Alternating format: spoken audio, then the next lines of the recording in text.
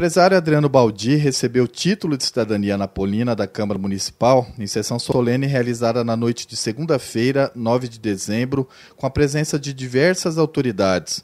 A homenagem é uma iniciativa do vereador Teles Júnior. O Poder Legislativo reconhecer a pessoa, o currículo do nosso amigo Adriano Baldi, eu que fui, eu que sou né, presidente da Comissão de Indústria e Comércio e presidente também da Frente Parlamentar pelo Parque Tecnológico, a gente sabe da importância que é receber aqui hoje o Adriano e dar a ele esse título. Então, mais do que merecedor, um, guerreiro, uma pessoa que tem uma formação espetacular na parte é, é, a, a, da administração, de empresas, um empreendedor, tem pós em finanças pela Getúlio Vargas, é, quase dois anos secretário municipal de desenvolvimento econômico, participou nesses últimos, últimos meses aí das últimas da, decisões na área do desenvolvimento econômico do nosso município, passou pela mão dele e fez um excelente trabalho. Saiu daqui agora em novembro para assumir uma importante pasta no governo do estado, que é a Secretaria de Cultura.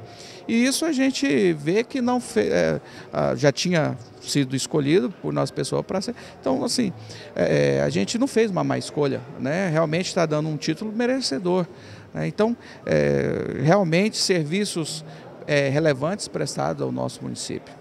Então a gente vê aqui o carinho dos, daquelas pessoas que trabalharam com ele na secretaria, pessoas amigas que ele fez.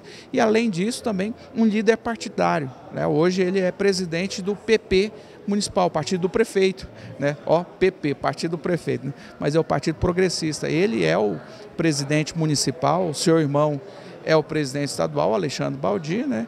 E que hoje está também, é um goiano emprestado lá para o governo Dória, em São Paulo, então é uma família, eu conheci o irmão dele quando secretário ainda do Alcides, o Joel Braga, né? Tive com ele lá no palácio, né? E agora a gente vem conhecendo toda a família aí.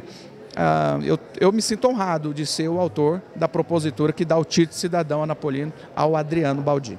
Adriano nasceu em Goiânia e colaborou com a vida pública de Anápolis. Foi secretário municipal de Desenvolvimento Econômico entre fevereiro de 2018 e novembro de 2019. Deixou o cargo para assumir a Secretaria de Cultura de Goiás. Ele falou da emoção em receber o título de cidadão anapolino. Muita honra e orgulho, né? A gente já vem desenvolvendo o trabalho aqui há quase dois anos na cidade de Anápolis.